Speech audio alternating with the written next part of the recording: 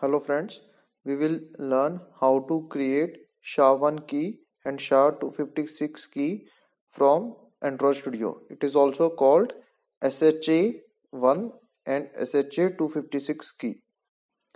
So first of all, go to the build Gradle and then you have to add this signing config. So I'm just for the security purpose, I'm just blurring the passwords. So you can see the path. I'm just showing you the path.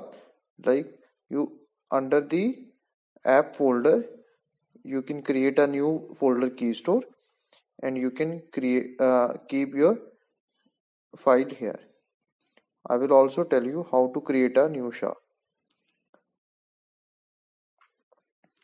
So if you want to create a new star uh, uh, key store file just go to build folder and generate a signed APK or build.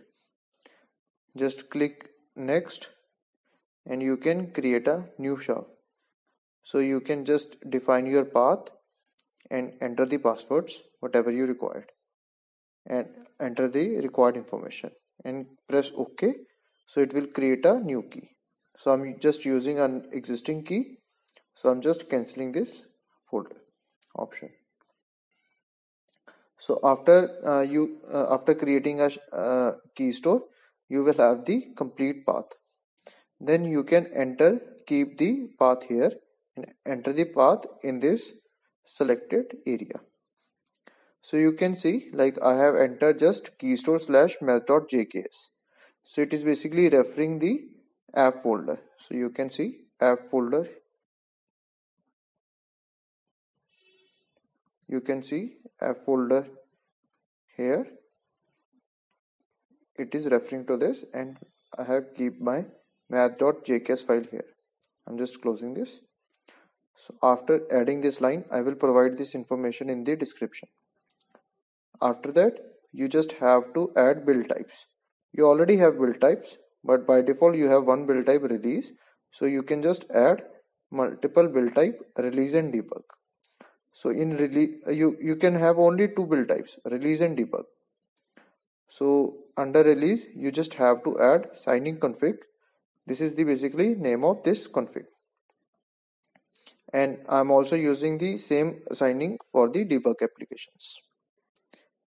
After that you just have like when you add this thing area so you just have to press the sync button so you can see sync button. It may take some time depending on your machine.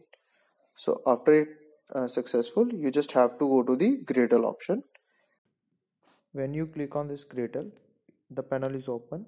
So you have to click on task. Under task you have to click on android. Under android you have to double click on signing report. When you click double click on signing report it create a report and in this report you can see there is SHA-1 key, SHA-256 key and MD5 key. So you can use these keys as per your requirement. So thank you guys for watching this video.